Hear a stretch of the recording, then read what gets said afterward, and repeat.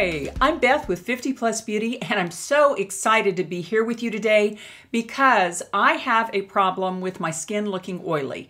I have oily skin, especially in the T-zone area, and by noon every day I'm an oil slick no matter what primers I use, no matter what powders I use. I'm just a very oily girl. And in one way, that's a wonderful thing because I think it has resulted in my having a lot fewer lines and wrinkles than some of my more pimple-free friends.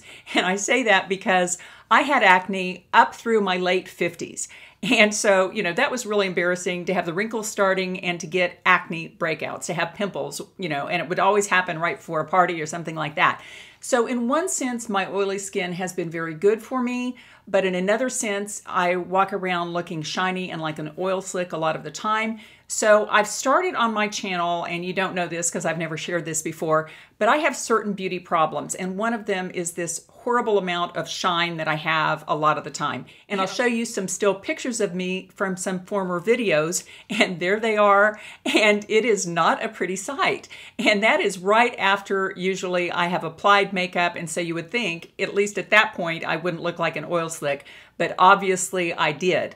So that is one of the problems I'm going to be solving on my channel. And amazingly, I think I found a matte primer that is solving that for me, and I am not kidding. And so first, if you're not a subscriber and you're interested in all things great for us over 50-year-old beauties, then I hope you'll subscribe and click that bell to get my videos and give the video a thumbs up if you'd like, that would be great too. Okay, let me kind of just get out of the 50 plus beauty mode and just tell you how this video started out and then let me tell you what happened, which turned out to be a great thing. I decided that I wanted to, to solve my oily look situation. So what I did was I had some of these primers in my stash and I've been using them uh, on and off, but I have to admit that I had kind of not been using primers for maybe the last few months. I don't know, I get busy in the morning, I have to go to work. So I was just kind of skipping that step, which obviously wasn't doing me any favors. So some of these I had in my stash and some of them I went out and purchased at Ulta and some of them were up to $40. But I was bound and determined to find the best matte primer for myself and to share that with you. And I will tell you, I found a fabulous matte primer, and it is quite a surprising one too. And I'll keep that just as a secret for the next few minutes. But basically, what I did and how this video started out is a war every single day between like like the first day. This was called going to be called matte primer wars and the first day on one side of my face, I used the Smashbox Oil and Shine Control, which is a new one from Smashbox. And on the other side of my face on that first day, I used one that I had in my stash, which is the Smashbox Photo Finish Pore Minimizing Primer. And I'd always thought that really did a good job, but come to find out, it didn't. And so anyway, for the last seven days, it took me seven days, every morning I would apply two different primers. At the end of that day, I would tell you the winner, show you the winner. And then on the next day, I would take the winner of that day, put it on one half of the, the face the next morning, along with the next challenger. And then at the end of every day, I would show you, at least the idea was I would show you the clear winner at the end of every day. And then by the end of the seven days, we would have a clear winner, right? Well, what ended up happening was that I did do those videos. You know, I'd apply the makeup in the morning, hardly use any powder at all, use the same foundation, and I was using the Neutrogena Healthy Skin Foundation. That's not what I have on right now, and I love this foundation. I'll tell you about this foundation at the end of this video. But basically, I would wear the same makeup every day and only use just a minimal amount of powder. I used my Charlotte Tilbury Airbrush Flawless Finish pressed powder and just in the areas that look greasy. And then all day long, I did not apply any more powder, any more blush on my face. And so I went through each of those days like that. So, you know, the idea was that at the end of every day, I would have a clear winner. Well, that wasn't what happened. And I started to get really depressed about the whole makeup industry because after this day, it was like, you know, that was maybe a tiny bit better, but not necessarily, you know, in certain lights, they looked exactly the same. And then the next day, I did these two, and I was disappointed. This one even had charcoal in it. So I thought, surely that's going to make me matte. Well, at the end of eight hours, I was a greasy oil slick again.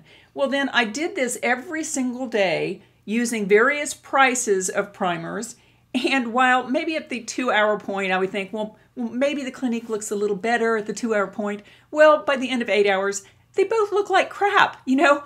And so somewhere around in here, the third or fourth day, I started thinking that all of the makeup industry was just a scam because none of these things made any difference. I looked oily at the end of the day, and it wasn't, you know, if one was $40 and had all these claims, it did exactly the same thing as the one that was $25 and had all of those claims. It was very frustrating. So, anyway, I get through all of these over the past seven days, and then I get to yesterday. And this little guy, I almost did not put in with these. This is the Ulta Beauty Mattifying Face Primer, oil-free, paraben-free. Says controls shine and blurs pores.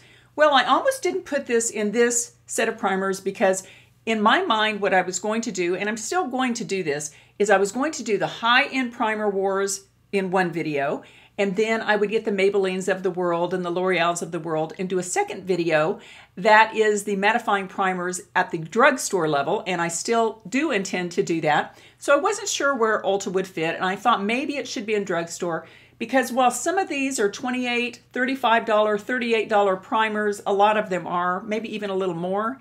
This little guy, full price, I think is $16, and he was on sale at Ulta for $7. So I picked him up, and then I decided, well, heck, because he was $17, that's more expensive than maybe a drugstore primer. So I'll just throw him in with, with these. And I did not expect this little guy at $7 on sale to do anything. I thought it would just be like all of these more expensive ones. Well, imagine my surprise when I did my seventh day of the primer wars yesterday. And that was the, the winner, the sort of winner from all these. But I have to admit, it wasn't really a winner because you know, I couldn't really tell much at the end of every day which was the best mat- mattifying primer. But on the seventh day, I'd kind of gotten to the Benefit PoreFessional being what I thought was maybe the best one. And I used it against the Ulta. And I will show you that final wear test on this and also what some of the girls in the office said. And I was blown away by this Ulta primer. And it is what I have on my face right now. And although I have a YouTube channel and I'm supposed to test all different kinds of things for you, it's going to be hard for me not to be using the Ulta Beauty Mattifying Face Primer from now on because this little guy, well, I'll go ahead and show you the videos. Okay, it is four hours since I applied the matte primers in today's Primer Wars. This is the last day, and I am so happy at least at this point, and as you know from yesterday, things do change between the four and the eight hour mark. This is the Benefit PoreFessional, which is a lot more expensive, and it is a lot glowier looking, kind of starting to look a little oily on that side, whereas the Ulta Matte Primer looks a lot more matte, and amazingly not as shiny as the other side. So, so far, the Ulta Matte Primer is winning. Okay, here I am at the eight hour check-in and I've not applied powder all day long or blush or anything, just a little bit of lipstick. It's a little difficult for me not to reapply makeup. I feel like I'm walking around with my makeup falling off my face, but I can see at this point that we have a clear winner and that's unusual because this whole competition, it has been hard to really see the difference between the two matte primers on any given day. But this is the Benefit PoreFessional side and as you can see, I've got quite a lot of an oily look going here on this side. And meanwhile, on the Ulta side, the Ulta Matte Primer side, it really does look a lot more matte, not nearly so greasy. It's really amazing that of all the primers I've tested over all of this time, it was the least expensive one that seems to have come out the winner. Okay, this is today's test. This is the last day. This is the ultimate winner, which is which is more matte looking, less greasy. Here's one side. Okay versus this side. That's more matte looking. And would you believe this is Benefit PoreFessional and it looks greasy, doesn't it? Mm-hmm. And it was like $38 or something like that. Wow. This is Ulta on sale for 6 or $7. Yeah, that's definitely more matte. This is Ulta. This is Ulta. Can you believe that? No, I can't. I went through like I think 10 total. And most of them I spent like 38 bucks a piece for and I wasn't really able to tell that much of a difference. This is quite a bit different, isn't it? It is, yes for the first time, mm-hmm. you can really tell the difference. I can tell, yeah. And would you, which would you prefer to wear? Probably the more matte. The more matte. Yeah. Yes, I do. I like the matte. And I'll show you some still pictures from some of those different days so you can kind of get an idea what I was talking about, how the results really didn't differ much from one primer to the other. And here you are, and as you can tell, there's really not much, if any, difference. And sometimes you could even think maybe it was the light that made a difference between one side and the other. It was just very, very hard to tell any difference. And you all, in addition to being a great mattifying primer, if you're looking for something to really stop the oil slick on your face, please go out to Ulta Beauty and give this one a try because there is something different about this little primer. Here it is. It goes on the skin just very clear, which was surprising to me that I like this too because I generally think I like the ones that look a little bit more like a foundation because I would think that they would give me a little more of a blurring effect. Amazingly enough, this little clear guy is what produced the most outstanding results on my skin. And again, if you're not a subscriber and you're interested in all of the products that help us age better than we would normally, then I hope you'll subscribe and click that little bell to be notified of my future videos. And in addition to this great primer, I've also been experimenting with some great new cosmetics lately, and I'll just real quickly tell you about those. The first I was sent in PR, and this is the Becca Ultimate Coverage 24 Hour Foundation. Absolutely love this little guy. It's what I have on my face now, and I don't know if you can see this, but it absolutely covers everything on your face if you're a full coverage girl.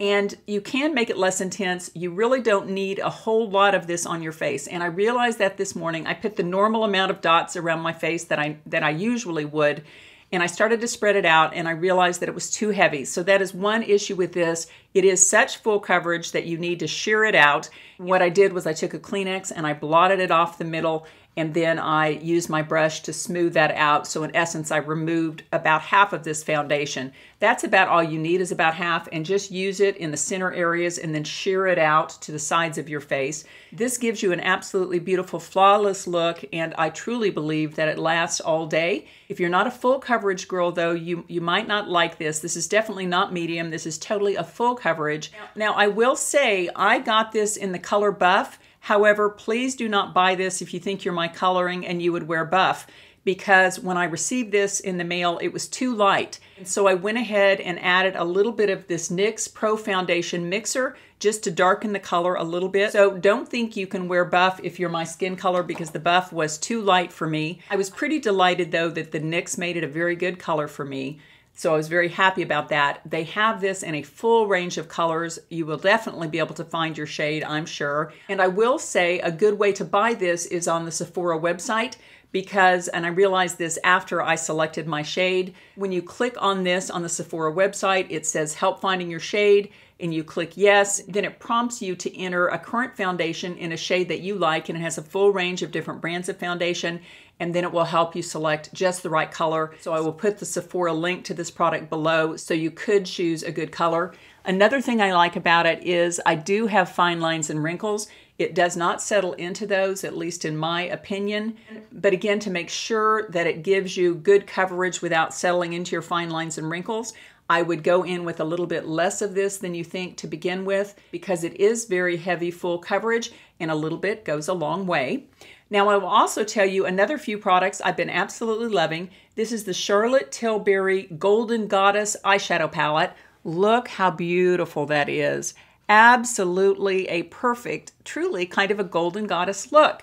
And I'm surprised that I like this because I've watched a lot of YouTubers talking about the full range of Charlotte Tilbury products, which I have a lot of them now and I really like them. But I had always kind of heard that their eyeshadow may be one of the weaker products, but I did not experience that at all. I truly love this palette and I think it's $58, so it is a little bit pricey. But the other three products I wanted to share with you very quickly are CoLab Beauty products, which are middle middle price products. Like I think the lipstick was 10, the blush was 10, and the mascara maybe 10. These are the Sally's Beauty line that was created by a group of YouTubers. That's why they call it CoLab. I have this beautiful blush on my cheeks right now. Love this and this lipstick, and this is called Toss and Turn.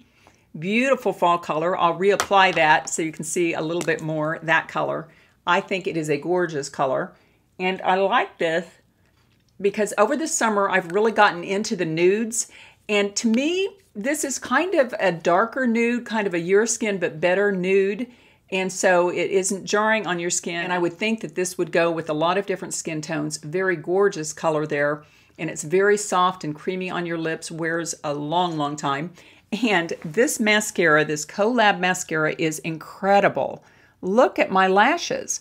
And it's odd, but under these lights, for some reason, most mascaras aren't able to show you how my lashes really look. I know I have a strange look on my face, but basically, I'm trying to show you those eyelashes.